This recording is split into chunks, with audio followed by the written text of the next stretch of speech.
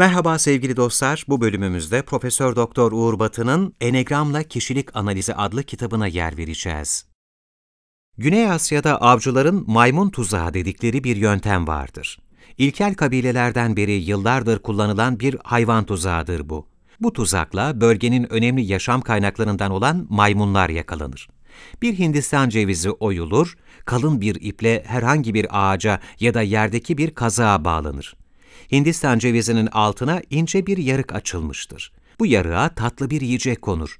Bu yarığın büyüklüğü sadece maymunun elini açıkken sokabileceği kadardır. Maymun tatlının kokusunu alır, yiyeceğini yakalamak için elini içeri sokar. Ama yiyecek elindeyken elini dışarı çıkarması imkansızdır. Sıkıca yumruk yapılmış el bu yarıktan dışarı çıkmaz. Avcılar geldiğinde maymun çılgına döner ama kaçamaz. Gerçekte durum çok dramatiktir.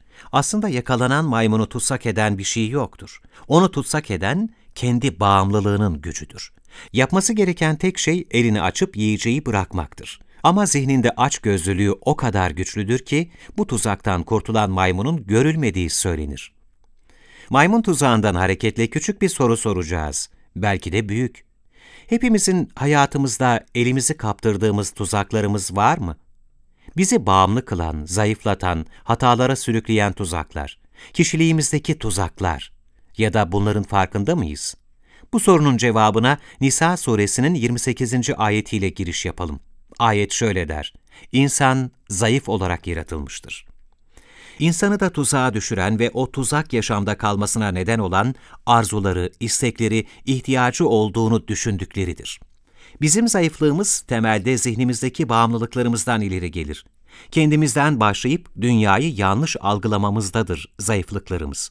İnsanın kişiliğinin zayıf ve güçlü yanlarını bilmesi, kendine benliğini açması gerekir daha güçlü olabilmek için. İnsan kendini tanırsa hatalı olduğu, bağımlı olduğu her şeyi serbest bırakabilir. Özgür olmaktır bunun karşılığı. Bunun için insanın önce kendini tanıması gerekir. Kendini tanıma tüm insanlarda ortak olan bir süreçtir. Kişide bazen gerilim, bazen heyecan yaratan, fiziksel ve psikolojik içerimleri olan özel bir süreçtir. Süreç, kişinin ben farkındalığı üzerine kurulmuştur. Kişilik, benin tüm anlamlarıdır. Kişinin kendisini oluşturan ben, ilk önce bedenle başlar. Ancak benin bedenden ibaret olduğunu sanmak önemli bir hata olacaktır. Kişiliğin üzerine kurulduğu ben, fiziksel oluşumdan, bedenden çok farklı anlamları olan bir kavramdır. Özgürlüktür, sınırsız olmaktır. Benzersiz ve eşsiz olmakken, bu sınırlar içinde diğerleriyle bir küme olmaktır. Zihinsel bir oluşumdur, sınırsız biliştir. Bunun yanında zekadır, akıldır, dengede olmaktır, harekettir, mutluluktur, coşkudur, heyecandır. Hem var olmaktır, hem yok olmaktır. Devinimdir, sürekli değişmektir. Bazen de klişe davranmaktır, sabit olmaktır, hatırlanmaktır, zamandan ve mekandan bağımsız olabilmektir. Güce sahip olabilmektir, enerjidir, yalnızlıktır, birlikteliktir, güvenmektir, en önemlisi beni bilmek, benliği bilmektir. Tam ve eşsiz bir farkındalıktır. Bu farkındalık gelişmezse birey kendi kişiliğinin zayıf, geliştirilmesi gereken ve güçlü tarafları hususundan bir haber olur.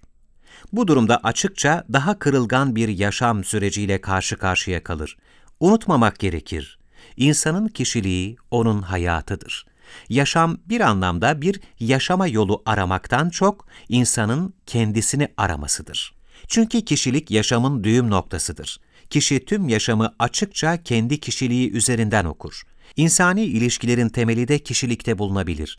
Kişilik varlıktır, kişiliksizlik yoksunluktur. Buradaki karşıtlığı anlatan güzel bir kurmaca vardır. Sınıf, öğrencilerin gürültü patırtısıyla sallanırken sert görünümlü hoca kapıda belirir. İçeriye kızgın bir bakış atıp kürsüye geçer. Tebeşirle tahtaya kocaman bir bir rakamı çizer. Bakın der, bu kişiliktir. Hayatta sahip olabileceğiniz en değerli şey. Sonra bir rakamının yanına bir sıfır yazar. Bu başarıdır. Başarılı bir kişilik biri on yapar. Bir sıfır daha ekler. Bu tecrübedir. Onken yüz olursunuz. Sıfırlar böyle uzayıp gider. Yetenek, disiplin, sevgi. Eklenen her yeni sıfırın kişiliği 10 kat zenginleştirdiğini anlatır hoca.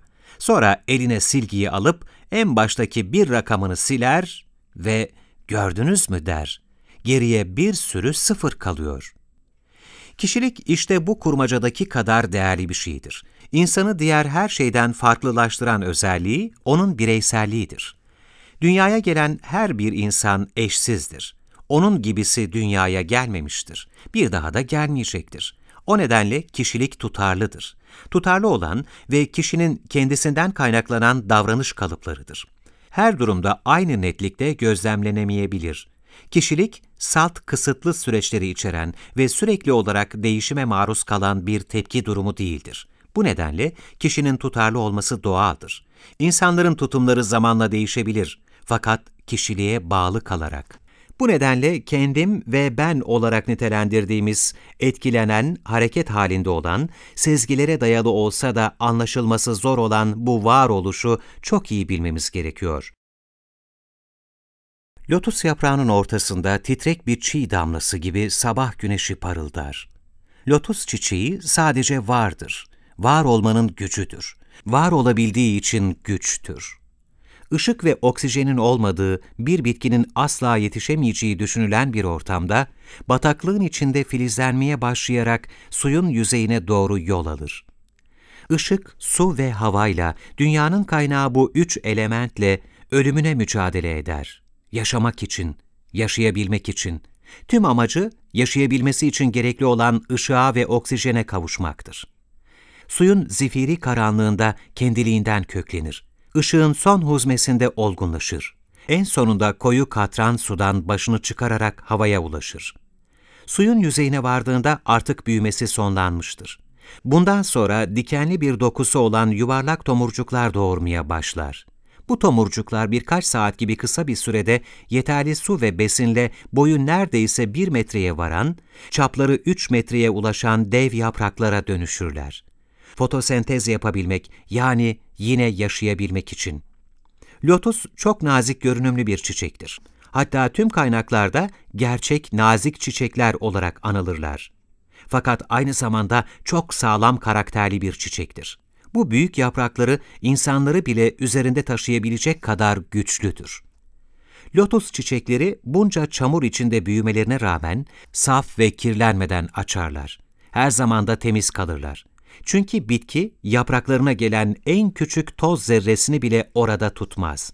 Bu pisliklerin kendisine zarar vereceğini bilir, silkinir ve ondan kurtulur. Hemen ardından yaprağa düşen yağmur damlalarını tozları süpürmek amacıyla kullanır. Lotus tüm doğu kaynaklarında gerçek bir efsanedir. Hindistan'da, eski Mısır'da, hatta antik Yunan, Roma'da. Lotus çiçeğinin tüm bu kültürlerde güneşi, doğumu ve aydınlanmayı simgelediğine inanılır. Lotus, insanoğlunun durmak bilmeyen mücadelesiyle de özdeşleştirilebilir. O, yaşamın devamının, yaşama kararlılığının sembolüdür. Her türlü zorluğa rağmen ayakta kalınabileceğinin ifadesidir aynı zamanda bir canlının mücadele ne kadar çetin olursa olsun, temiz olarak ayakta kalabileceğini anlatır. Lotus çiçeğinin ortasındaki berrak öz, değerleri olan insanların doğasına benzetilir. Lotus tohumları bir insanın iç dünyası gibi sınırsız ve derindir. Lotus çiçeği bütünüyle bir karakterdir. İnsanın karakterinin sembolizasyonudur yaşamaya henüz başlamış küçük bir tohum, ne o suyun bir bitiş noktasının olduğundan, ne güneşten, ne de oksijenden, ne de ışıktan haberdardır. Sadece yaşaması gerektiğini bilir. Bilmesi gereken şey de budur zaten. Bu, içindeki güçtür. O güç, lotus çiçeğini tüm yaşam süreci boyunca ayakta tutacak olan karakteridir. Önemli olan bu karakterin farkında olmaktır.